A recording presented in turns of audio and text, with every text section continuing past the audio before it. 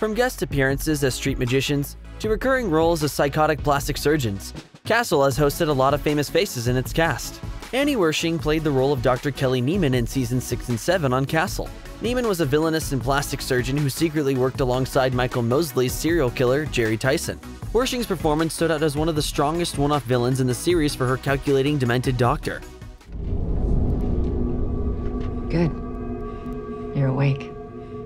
We can get started. Wersching initially gained fame for her role as Renee Walker in seasons 7 and 8 of the series 24, an extremely tough, willful, and complex character frequently butting heads with Jack Bauer. Other significant roles in her filmography include Amelia Joff in General Hospital, Julia Brasher in Bosch, Emma Whitmore in Timeless, and the Borg Queen in Star Trek Picard. She also gained critical acclaim for her motion capture performance as Tess in the 2013 video game The Last of Us. Wersching tragically passed away from cancer on January 29, 2023. You may not have realized Chadwick Boseman was even in Castle, but he appears in episode 12 of season 3 as a magician named Chuck Russell. Although he's only there as the red herring suspect for the murder of a fellow magician, Boseman stands out in his rather silly role. Boseman is adored worldwide for his starring role as T'Challa the Black Panther in the Marvel Cinematic Universe. He made his first appearance as the character in 2016's Captain America Civil War, but was given his own film in 2018. He continued the role throughout Avengers Infinity War and Endgame until his tragic passing in 2020 from colon cancer. He was praised for his acting talent, charitable work, and philanthropy, with many celebrating his legacy in popular culture, including a statement by Black Panther director Ryan Coogler. According to Den of Geek, Coogler claimed, Boseman was such an integral part of that character for us, both as the character and as a person, that we could not conceive of a version with having someone else on set. Although Len Lesser plays a very small role in Castle, the famous character actor is still remembered for his part in the second episode of season 1. Lesser makes his minor appearance count as a funny distraction from an ongoing murder investigation. He's not a cop. I'm a cop. And you're looking for someone to have sex with? Lesser may be familiar to audiences from his standout role as Uncle Leo in the hit NBC sitcom Seinfeld.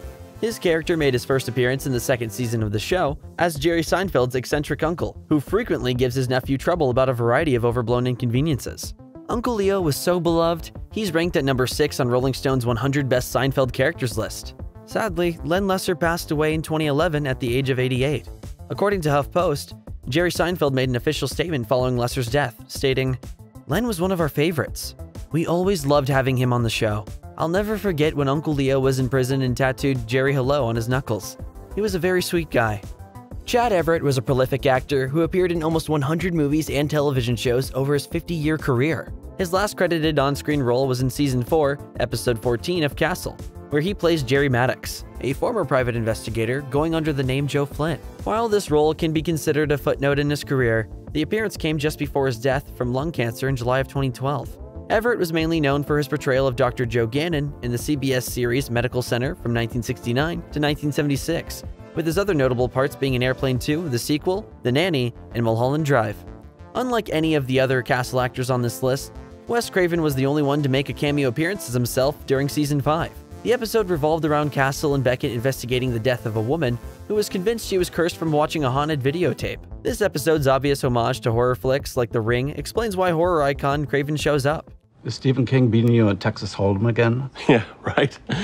Craven is best known for the cult classics The Last House on the Left and The Hills Have Eyes, as well as the massive horror franchises A Nightmare on Elm Street and Scream. Craven passed away from a brain tumor in 2015 at the age of 76 and is remembered as a pioneer of horror movie making.